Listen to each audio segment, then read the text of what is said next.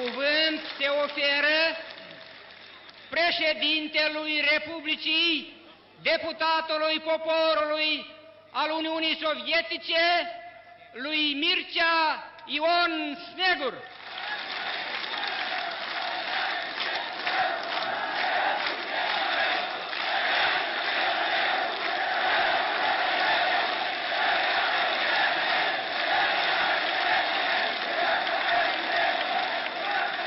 Stimați tovarăși, stimați tovarăși, dragi compatrioți ai Republicii noastre moldovenești, adunarea noastră națională decurge într-un moment încordat pentru o republică și totodată într-o perioadă de o mare însemnătate istorică. Datorită restructurării, democratizării și publicității proclamate de tovarășul Mikhail Gorbaciov în aprilie 1985, avem posibilitatea să ne adunăm la voința poporului, să discutăm împreună cu poporul problemele ce ne frământă, problemele meleagului nostru străbun.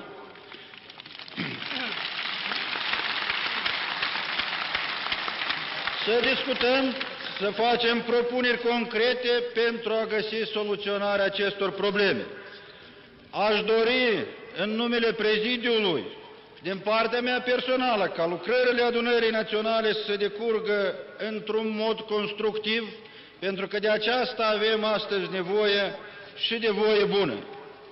Zic așa pentru că, stimați tovarăși, situația social-politică este astăzi într-o măsură oarecare agravată.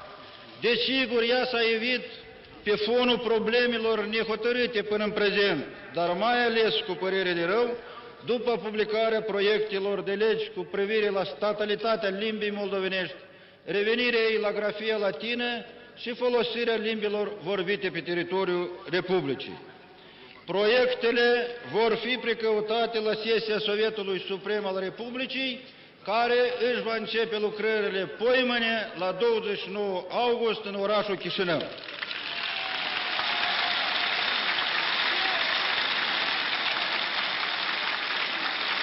Sunt sigur că deputații vor primi hotărârile cuvenite și mult așteptate.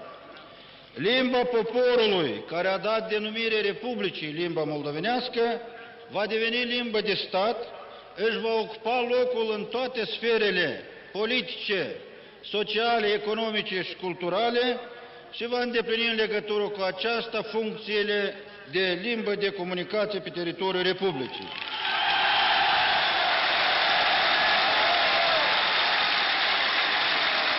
Limba moldovenească va funcționa pe baza grafiei latine. Aceasta așteaptă poporul, aceasta a fost promis poporului, aceasta este prezentat spre examinarea deputaților. Totodată, noi suntem răspunzătorii de a crea cele mai bune condiții pentru dezvoltarea și folosirea celorlalte limbi, de crearea relațiilor optimale între limbi, de asigurarea așa numitului bilingvism național rus, care de fapt funcționează și rus național. De asemenea, eu repet, programul complex de dezvoltare și folosire a limbilor, care este publicat, prevede toate măsurile necesare pentru dezvoltarea tuturor limbilor și niciun fel de discriminare cum încearcă alții să afirme. Socot că proiectele de legi cu privire la limbă ar putea fi încuvințat în linii mari de adunarea noastră, deși nu vreau deloc să spun că el este absolut lipsit de neajunsuri. Sunt desigur și rezerve pentru perfecționare și astfel de propuneri și porunci s-ar putea îndrepta în adresa sesiunii. În legătură cu problemele limbii puse în discuție, eu am o propunere și o rugăminte și vă rog frumos să mă susțineți. Propun ca în numele adunării noastre naționale să fie lansată o adresare către clasa muncitoare către populația rusofonă care se află astăzi în grevă. Avem în grevă 113 întreprinderi, circa 80.000 de muncitori, pierderile constituie zeci de milioane de ruble. Să ne adresăm către muncitorii care sunt duși în eroare și să-i rugăm, să cerem să se întoarcă la locurile de muncă, căci prin grevă nu se pot hotărâ problemele limbii. O astfel de adresare o astfel de adresare ar confirma încă o dată că noi suntem consecvenți și în discuții și la hotărârea problemelor. Anume, noi suntem aceia care ne stăruim să întărim și mai departe baza prieteniei pe teritoriul Republicii. Noi așa procedăm toată vremea.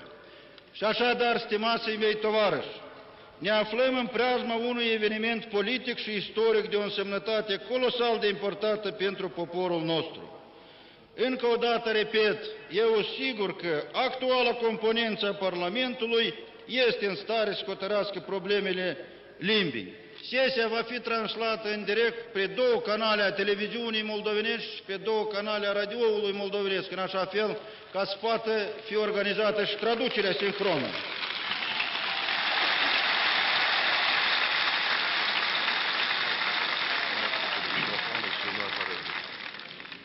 Toți vor avea putință să urmărească lucrările sesii și reieșind din aceasta, următoarea mea rugăminte constă în aceea de a da putință ca deputații să lucreze în mod liniștit. Cu cât mai bune vor fi aceste condiții, cu atât mai bine s-or petrece discuțiile într-un mod mai clar, fără apăsare și socoteu, cu atât mai binevenite vor fi hotărârile primite. Eu vă rog, trebuie în sfârșit să o, să o ducem la bun sfârșit. E de ajuns cât am trăgănat. Să ne lămurim cu aceste chestiuni, căci rămân nerezolvate celelalte probleme despre care astăzi la adunarea națională va merge vorba. La rând, e întrebarea legată de pregătirea legilor corespunzătoare și efectuarea alegerilor în sovietele locale și a noului Parlament al Republicii. Alegerile se prevăd în prealabil la sfârșitul lunii februarie. Către acest eveniment politic trebuie să ne pregătim reieșind din hotărârile primului congres al deputaților poporului din țară despre trecerea întregii puteri în mâinile sovietelor. Sovietele de deputați ai poporului trebuie să devină pe deplin stăpâni pe teritoriile respective. Repet, sovietele și nu departamentele.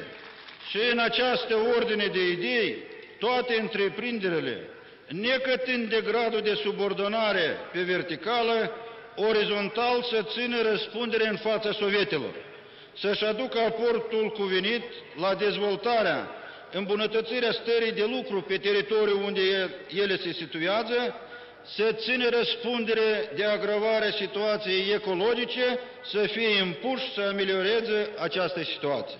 Toți sovietele trebuie să fie acumulatoare de investiții pentru hotărârea multiplilor probleme sociale, mai ales la sat.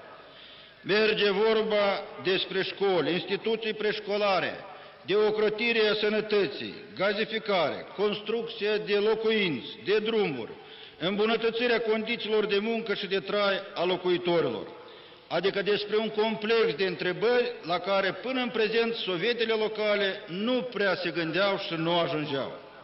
Deci, dragi tovarăși, să ne gândim bine în legătură cu aceste sarcini și la componența viitoare a sovietilor să fie bine discutați și aleși acei fii și fiici care vor putea face față acestor sarcini.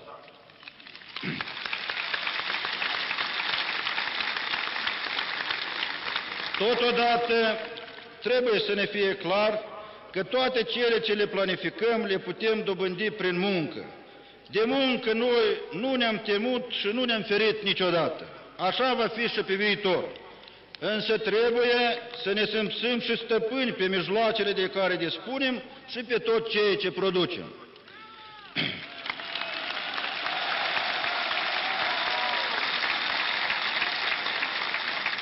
Această teză pe deplin reiese din platforma Partidului Comunist al Uniunii Sovietice către plenara ordinară pe întrebările politicii naționale.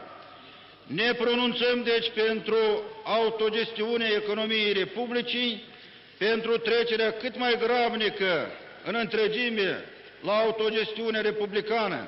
Variantele elaborate, după cum știți, în timpul de față se precaută de către guvern pentru a alege cea mai bună variantă reieșind din realități.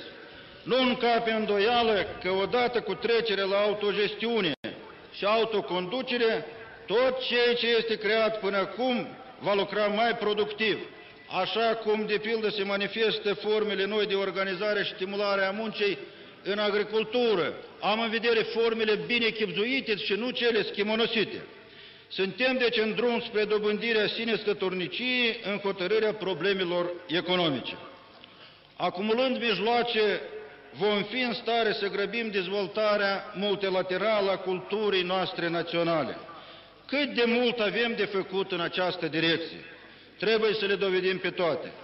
Eu sunt pe deplin de acord cu grija manifestată de scriitorii moldoveni, lucrătorii de teatru, cineaști despre starea creată în aceste domenii. Trebuie să ne încadrăm cu toții la îmbunătățirea situației. Pentru cultură, la cultură, nu trebuie să economisim și în linii generale și în dezvoltarea culturii în toate localitățile Republicii noastre. Numai astfel vom păstra folclorul, obiceiurile pentru urmașii noștri. Trebuie să ne fie scump tot ceea ce ne vine din istoria neamului. Dragi tovarăși, dragi compatrioți, ne așteaptă o muncă încordată. Problemele noastre noi trebuie să le, să le rezolvăm. Și suntem în stare, și din punct de vedere economic, și din punct de vedere intelectual.